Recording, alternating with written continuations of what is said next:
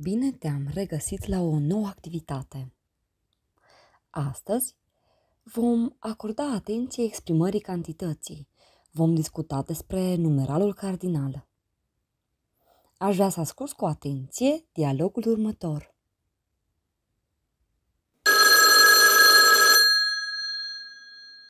Da, alo.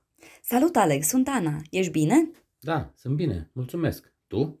Te sun pentru că avem întâlnire în fața bibliotecii, pentru a vedea un nou apartament. Îți amintești? Da, nu. A, da, așa este. Astăzi este 3 iunie. La ce oră trebuie să ne vedem? La ora 4 fără un sfert. Am notat. Unde trebuie să vin? Pe strada Republicii, numărul 77. Acolo este biblioteca. Eu locuiesc foarte aproape, în blocul cu numărul 2. Te rog, notează numărul de mobil al firmei de taxi 0759 333 793. Am înțeles. Voi fi acolo. Pe curând! Reascultă dialogul și răspunde selectând răspunsurile corecte.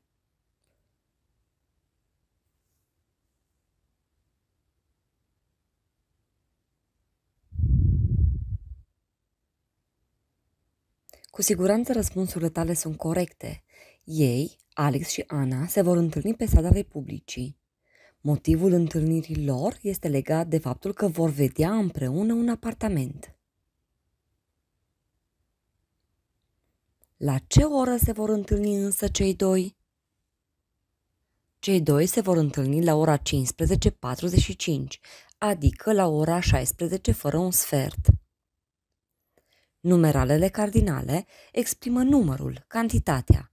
Ele pot fi simple, atunci când sunt alcătuite dintr-un singur termen și avem 0, 1, 2, 3, 4 sau 5, pot fi compuse atunci când sunt alcătuite din mai mulți termeni.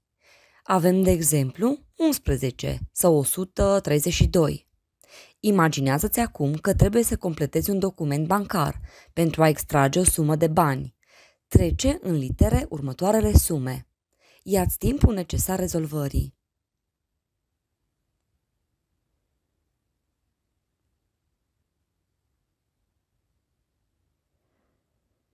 E important să ții minte că forma numeralului cardinal nu este dată de categoria genului. Majoritatea numeralelor cardinale nu își schimbă forma în funcție de gen. Avem, de exemplu, trei băieți, trei fete, 40 de căței, 40 de pisici.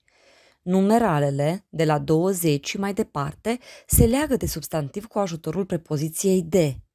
100 de pomi, 100 de fire de flori.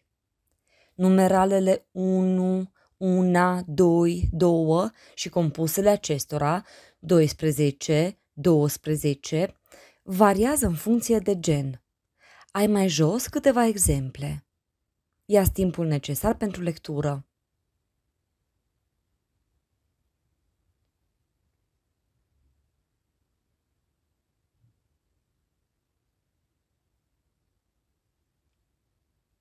Privește cu atenție ceasurile și notează ora în cifre și litere.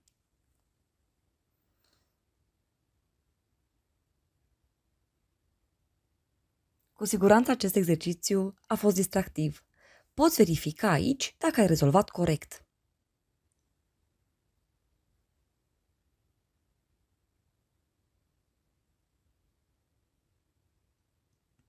Este corectă utilizarea genului masculin singular pentru numeralele 1, 11, 21 și feminin plural pentru ora 2, 12 sau 22.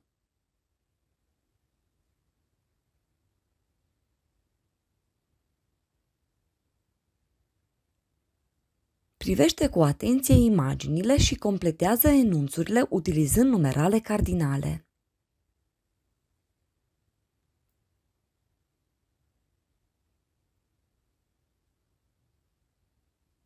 Sâmbătă a fost ziua Anei. Ea a împlinit 5 ani. Ana a invitat la petrecere șapte prieteni. Pentru că adoră florile, i-am cumpărat șapte lalele. Am aflat că Anei îi plac pisicile. Ea are acasă două pisici.